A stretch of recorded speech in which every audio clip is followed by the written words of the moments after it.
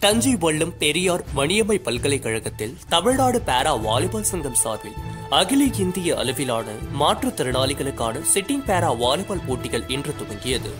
இருபத்தி இரண்டு மாநிலங்களைச் சேர்ந்த நானூற்று ஐம்பது வீரர்கள் பங்கேற்கும் போட்டிகள் இன்று துவங்கி வரும் ஐந்தாம் தேதி வரை மூன்று நாட்கள் நடைபெற உள்ளது இப்போட்டிகளை இன்று பள்ளிக்கல்வித்துறை அமைச்சர் அன்பில் மகேஷ் பொய்யாமொழி துவக்கி வைத்து விளையாட்டு வீரர்களை வாழ்த்தினார்.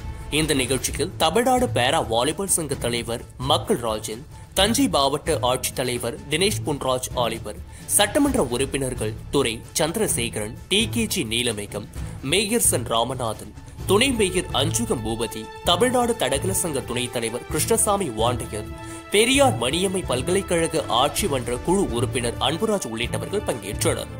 பின்னர் செய்தியாளர்களுக்கு பேட்டியளித்து அன்பில் மகேஷ் பொய்யாமொழி முதல் முறையாக தஞ்சையில் தேசிய அளவிலான மாற்றுத்திறனாளிகளுக்கான பேரா வாலிபால் போட்டி இன்று துவங்கியிருக்கிறது.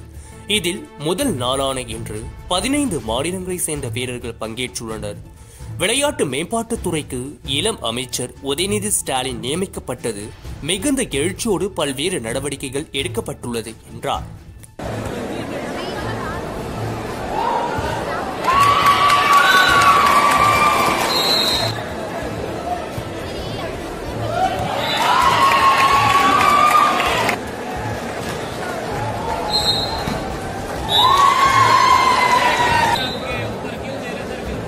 Música